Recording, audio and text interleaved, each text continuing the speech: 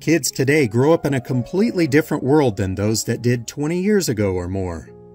Recess was a time of playing and getting grass stains on your clothes. Schools had dress codes that were more strict, and many of the lessons would freak kids out today. Over the years, there have been many changes in technology. Because of that, there are many things that have disappeared from the schools and classrooms. Today, we'll have a look back and remember some of these long lost items. One of the biggest items to disappear from schools are chalkboards.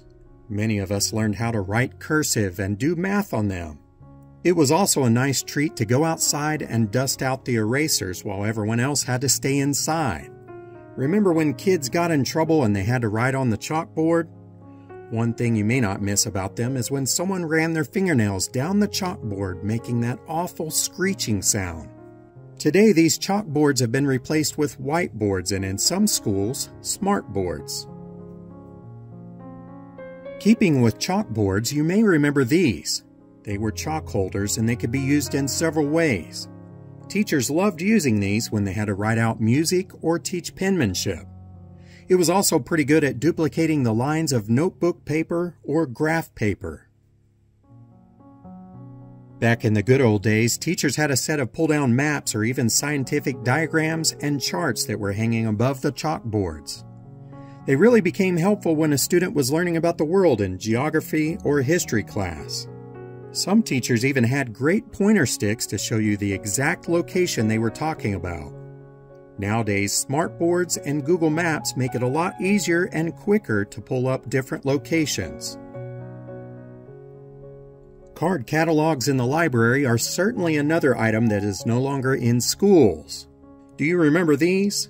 You couldn't even use these unless you understood the Dewey Decimal System. Kids today have no clue about the struggle we had opening these tiny drawers and searching through the little cards just to find a book. Once you found the information you needed, you had to write it down and then go look for the book out on the shelf. If the book wasn't there, then it all felt like a complete waste of time. Now, everything is available through a few clicks on the computer. When you wanted to check out a book, you had to pull out the library checkout card located in the back. You would fill out the card with your name and it would be stamped with a date it was due back. The librarian would then keep the card. Before all of that was done, it was fun to see who had checked out the book before you. Maybe it was an older brother or sister, but it could also have been someone you had a crush on. Changes can also be seen in physical education or gym class. There was probably no better stress reliever than slamming a rubber ball at your classmates' faces during an innocent game of dodgeball. These rubber balls with grip always had a distinctive sound when they hit someone. Today, this game is seen as being aggressive, so some schools do not have it. Those that do use a softer foam ball and no shots to the face are allowed. Analog clocks are another item disappearing from schools. Some are electing to remove them completely while new schools are not having them installed.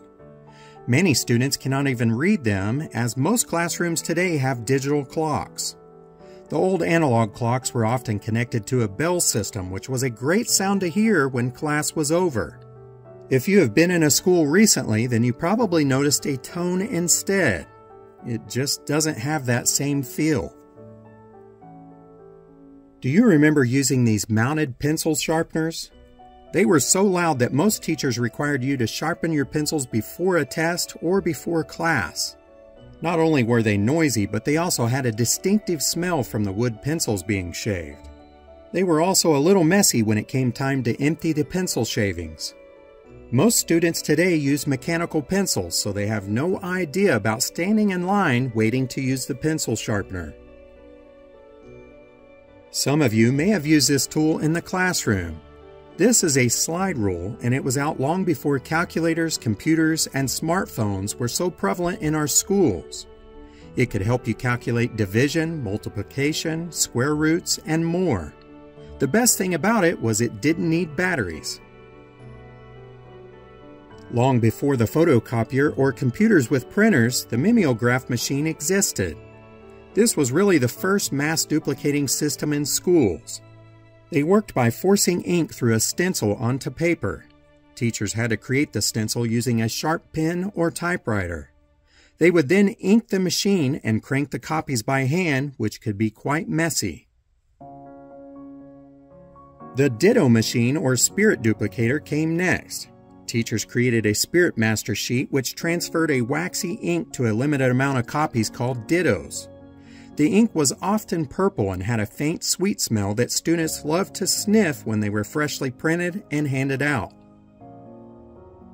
Remember taking your lunch money to school? Hopefully you never had your money taken by a bully, but back in the day you had to have it in order to eat. You might have paid for a lunch card that was good for the whole week, or maybe you just paid for it daily. Many schools today require lunches to be paid for online.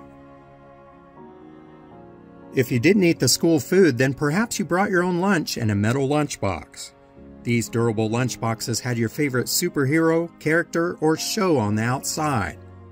What you usually had said a lot about you, and the best thing about your lunch was how you could trade with others so that you wouldn't get tired of eating the same thing from home. Kids who didn't bring their lunch would just look on with envy. Over the years, technology has changed quite a bit in schools. Occasionally, a teacher would bring something in to help a student grasp the subject matter more. Perhaps it was an old reel to reel projector showing sex education or driver's safety. Slide projectors were another visual aid in the classroom. Eventually, schools acquired the film strip projector. These had a knob on the side that would advance the film strip to the next picture. It was always a special treat to get selected to control that knob while the teacher was talking. Later models had cassette tapes which would beep when it was time to advance the picture. Some models had buttons instead of knobs, and a few did it all for you, which cut out kids fighting over who could control the projector. Eventually, these teaching tools gave way to the TV VCR media carts, which have also long since disappeared. Remember when report cards were actually written on? Students took these home each quarter and brought them back with their parent's signature. Today, these report cards are completely digital. Grade books are another item of the past. Teachers entered all the grades from homework and tests by hand, and not only that, they had to come up with the average of all those grades. Today, these grades are entered into a computer program which comes out with an average for you. Overhead projectors are something that many teachers used for a while. In a way, they seem to be the beginning of the end for the chalkboard. A teacher would use these transparencies to write on, and they would usually sit beside them. The bulb that was in these got incredibly hot, and if you put this transparency in the wrong spot, it would actually melt it. Depending on your age and when you attended school, you may have used a trapper keeper. These were very popular in the 1980s and there were many different styles to choose from. Some of the most popular ones were fast cars for boys and horses for girls.